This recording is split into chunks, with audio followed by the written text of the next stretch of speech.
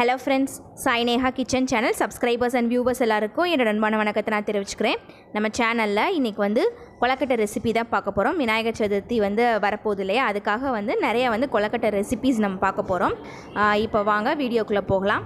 அதுக்கு முன்னாடி நம்ம சேனலை நீங்கள் இன்னும் சப்ஸ்கிரைப் பண்ணலை அப்படின்னு சொன்னால் மறக்காமல் சப்ஸ்கிரைப் பண்ணிக்கோங்க. அப்படியே பக்கத்தில் இருக்க பெல் ஐக்கானை கிளிக் பண்ணி ஆல் ஆப்ஷனை கிளிக் பண்ணிக்கோங்க. இப்போது இதுக்கு ஃபஸ்ட்டு வந்து பேனில் ரெண்டு கப் வந்து நான் தண்ணி சேர்த்துக்கிறேன். தண்ணி சேர்த்துட்டு நல்லா வந்து தண்ணி வந்து சூடாகணும். நல்லா சூடாக இருக்கணும். கொதிக்கிற மாதிரி இருக்கணும். அப்படி ஊற்றி நம்ம வந்து மாவு பிசைஞ்சோம் அப்படின்னு சொன்னால் தான் நல்லா சாஃப்டாக இருக்கும். ஸோ நல்லா சூடு பண்ணியாச்சு. இப்போது இதுக்கு வந்து ஒரு மிக்சிங் பவுலில் நான் இந்த கப்பில் வந்து ஒன்றரை கப் எடுத்திருக்கேன். ஒரு நானூறு கிராம் வந்து பச்சரிசி மாவு. அதுக்கு தேவையான அளவு மேல் மாவுக்கு தேவையான அளவு உப்பு சேர்த்துக்கலாம். சேர்த்துட்டு நல்லா வந்து மிக்ஸ் பண்ணி விட்ருவோம் மிக்ஸ் பண்ணிவிட்டு நம்ம தண்ணி வந்து சூடு பண்ணி வச்சுருந்தோம் இல்லையா? அதை வந்து இதில் கொஞ்சம் கொஞ்சமாக சேர்த்து நம்ம பிசைய ஆரம்பிக்கிறோம். கொலக்கட்டை மாவு பதத்துக்கு பிசைஞ்சுக்கணும்.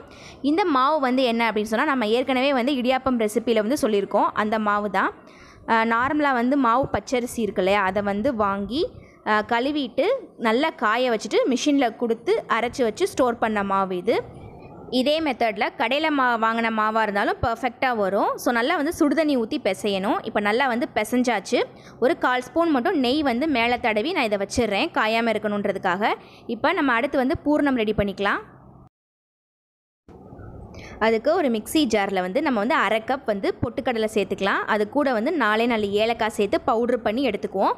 ஒரு நூறு கிராம் பொட்டுக்கடலை ஃபைன் பவுடராக வந்து அரைச்சிக்கலாம். இப்போ எந்த கப்பில் வந்து நம்ம பொட்டுக்கடலை மாவு எடுத்தோமோ அதே கப்பில் அரை கப் வந்து நம்ம பொடிச்ச ஜீனி சேர்த்துக்கலாம். நல்லா வந்து பவுட்ரு பண்ணி அந்த ஜீனி வந்து நம்ம சேர்த்துக்குவோம். இன்னும் கொஞ்சம் இனிப்பு தூக்கலாக வேணும்னா ஒரு ஸ்பூன் எக்ஸ்ட்ரா சேர்த்துக்கோங்க. இப்போ ஒரு கப் வந்து துருவின தேங்காய். இது வந்து ஒரு மீடியம் சைஸ் தேங்காயில் அரை முடி தேங்காய் எடுத்து துருவி சேர்த்துருக்கேன். அது வந்து ஒரு கப் இருக்கும். ஸோ அதை எல்லாத்தையுமே சேர்த்துட்டு நல்லா வந்து மிக்ஸ் பண்ணி விட்ருவோம் இப்போ நமக்கு வந்து பூர்ணம் வந்து ரெடி ஆகிடுச்சு இப்போ இது தனியாக நம்ம எடுத்து வச்சுக்கலாம். மாவு வந்து நம்ம ரெடி பண்ணி வச்சுருக்கோம் இல்லையா? அதுலேருந்து வந்து ஒரு சின்ன பால் எடுத்து இந்த மாதிரி வந்து பாலித்தீன் கவரில் வச்சு நம்ம லைட்டாக வந்து தட்டிக்கலாம். மாவு வந்து கையில் வந்து ஒட்டாமல் இருக்கிறதுக்காக நான் இன்றைக்கி வந்து கொஞ்சம் நெய் யூஸ் பண்ணியிருக்கேன் நீங்கள் வந்து எந்த ஆயில் இருந்தாலும் யூஸ் பண்ணிக்கலாம். மோஸ்ட்லி வந்து நெய் இல்லைன்னா தேங்காய் எண்ணெய். அந்த மாதிரி நம்ம யூஸ் பண்ணோம் அப்படின்னு சொன்னால் நல்லா வாசனையாக இருக்கும் கொலக்கட்டை இப்போ நான் நல்லா தட்டிட்டேன். நடுவில் வந்து நம்ம செஞ்சு வச்சுருக்கோம் இல்லையா? பூர்ணம். அதுலேருந்து கொஞ்சமாக நம்ம எடுத்து வச்சுடுவோம்.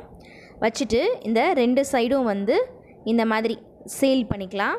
ஓரத்தில் அந்த எட்ஜஸ் எல்லாமே வந்து நல்லா வந்து ப்ரெஸ் பண்ணி ஒட்டிக்கலாம். அப்போ தான் வந்து பூர்ணம் வந்து வேக வைக்கும் போது வெளியில் வராமல் இருக்கும். இதில் வந்து நம்ம நிறையா மெத்தடில் வந்து பண்ணலாம். இப்போ நார்மலாக வந்து மோல்டெல்லாம் இல்லை அப்படின்னு சொன்னால் நம்ம இந்த மெத்தடில் எல்லா குளக்கட்டையுமே வந்து செஞ்சு எடுத்துடலாம். இல்லை மோல்டு இருக்குது அப்படின்னு சொன்னால் அதுலேயும் எப்படி பண்ணுறதுன்னு பார்ப்போம். இப்போ இந்த அச்சு இருக்கு இல்லையா? இதில் ரெண்டு சைடுமே நான் கொஞ்சம் வந்து நெய் அப்ளை பண்ணிக்கிறேன். நெய் நல்லா அப்ளை பண்ணதுக்கப்புறமா கொஞ்சமாக வந்து மாவு எடுத்து அதே மாதிரி நம்ம பாலித்தீன் கவரில் வச்சு கொஞ்சம் நம்ம தட்டிக்குவோம். எல்லா சைடும் ஒரே இருக்கிற ஒரே மாதிரி தட்டிக்கோங்க. இல்லைன்னா வந்து மாவு ரொம்ப அதிகமாக இருந்தாலும் நல்லா இருக்காது. ரொம்ப கம்மியாக ரொம்ப தின்னாக இருந்துட்டாலும் பூர்ணம் வந்து வெளியில் வந்துடும் ஸோ அதை பார்த்து தட்டிக்கோங்க. தட்டிட்டு அந்த மாவு எடுத்து இந்த அச்சில் வச்சு அப்புறம் அதுக்கு நடுவில் ஒன் சைடு மட்டும் நம்ம பூர்ணம் செஞ்சு வச்சுருந்தோம் இல்லையா? அதை வச்சுட்டு நல்லா வந்து க்ளோஸ் பண்ணி எக்ஸ்ட்ரா இருக்கிற மாவு எல்லாத்தையுமே எடுத்துருவோம். இந்த மாதிரியும் செய்யலாம். பாருங்கள் சூப்பராக பர்ஃபெக்டாக வந்திருக்கு. இப்போ இதே அச்சில் வந்து இதே மாதிரி இன்னும் கொஞ்சம் மாவு எடுத்து பாலித்தீன் கவரில் வச்சு நல்லா வந்து தட்டிட்டு அந்த கவரோடையே கவரோடையே வந்து அந்த அச்சில் வச்சு நம்ம அதுக்கப்புறமும் பண்ணலாம். நம்ம ஃபஸ்ட்டு வந்து இந்த மாவை வந்து எடுத்து அதில் வச்சு பண்ணோம். இல்லை அப்படி வேணாம் அப்படின்னு சொன்னால் இந்த மாதிரி வந்து கவரோடையே வச்சு இதுக்கு நடுவில் வந்து பூர்ணம் வச்சு இதே மாதிரி நம்ம க்ளோஸ் பண்ணிடலாம். அதுவும் வந்து நல்லா வந்து பர்ஃபெக்டாக வரும். இப்போ எக்ஸஸாக இருக்கிற மாவை வந்து நம்ம எடுத்துருவோம். எடுத்துகிட்டு பாருங்கள் இதுவும் வந்து நல்லா பர்ஃபெக்டாக வந்திருக்கு. இந்த மாதிரியும் செய்யலாம். இப்போ இதே இது வந்து இன்னொரு மெத்தட் இருக்குது நம்ம ரெண்டு சைடும் வந்து கொஞ்சம் கொஞ்சம் மாவு எடுத்து இந்த மாதிரி வச்சுருவோம் அச்சில். அச்சில் வச்சதுக்கப்புறமா ஒரு சைடு வந்து நம்ம பூர்ணம் செஞ்சு வச்சுருந்தோம் இல்லையா? அதை வந்து வச்சுட்டு இதே மாதிரி க்ளோஸ் பண்ணிவிட்டு எக்ஸஸாக இருக்கிற மாவு எல்லாத்தையுமே எடுத்துடலாம். இதுவும் வந்து கரெக்டாக பர்ஃபெக்டாக வரும். உங்களுக்கு வந்து எந்த மெத்தட் வந்து ஈஸியாக இருக்கோ அந்த மெத்தடில் வந்து நீங்கள் செஞ்சுக்கோங்க. இன்னும் அடுத்தடுத்து வந்து நிறைய கொலக்கட்டை ரெசிபிஸ் வந்து நான் போடுறேன். அதுலேயும் வந்து வேறு மோல்டு வேறு மெத்தட் எல்லாமே நம்ம பார்ப்போம். இப்போ இதெல்லாமே இதுக்கு செஞ்சிட்ருக்கும் போதே நான் வந்து நடுவில் வந்து இட்லி பாத்திரத்தில் வந்து தண்ணி ஊற்றி நல்லா வந்து தண்ணியை கொதிக்க வச்சுருக்கேன். கொதிக்க வச்சதுக்கப்புறம் தான் நமக்கு கொலக்கட்டை வந்து வேக வைக்கணும். ஸோ நல்லா கொதிக்குது தண்ணி. இப்போ நம்ம ஸ்டீமரில் இதை ஃபுல்லாகவே அடுக்கிட்டு நம்ம அதில் வச்சிடலாம்.